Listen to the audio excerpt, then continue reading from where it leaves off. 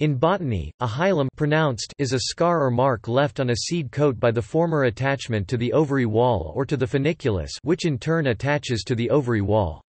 On a bean seed, the hilum is called the eye. For some species of fungus, the hilum is the microscopic indentation left on a spore when it separates from the sterigma of the basidium. A hilum can also be a nucleus of a starch grain, the point around which layers of starch are deposited.